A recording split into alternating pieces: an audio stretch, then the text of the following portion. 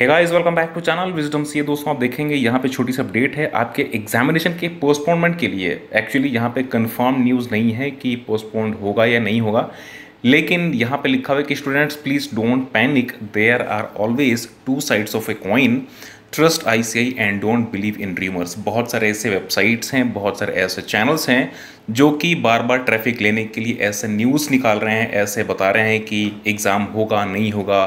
जिससे कि बहुत सारे ऐसे स्टूडेंट्स हैं जो कि डिस्टर्ब हो रहे हैं बार बार और उनकी स्टडी में दिक्कतें आ रही हैं ऐसे न्यूज़ के चलते। तो यहाँ पे इसी के लिए ये छोटी सी अपडेट है।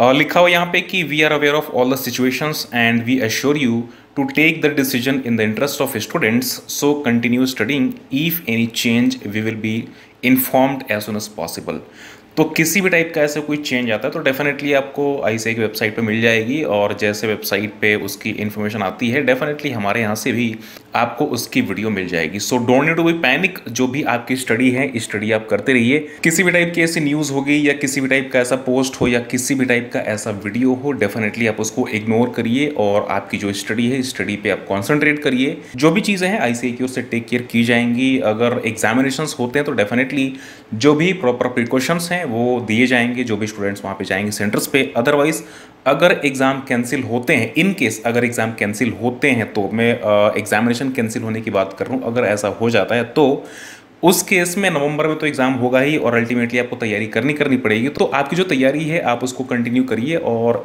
इन सभी चीज़ों में किसी भी टाइप की जो न्यूज़ है, उस पर डेफिनेटली बिलीव मत करिए और उस पर आप कॉन्सेंट्रेट मत करिए।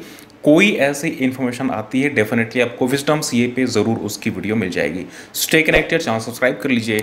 नोटिफिकेशन के लिए बेल आइकॉन भी आप प्रेस कर लीजिए thank you so much have a nice day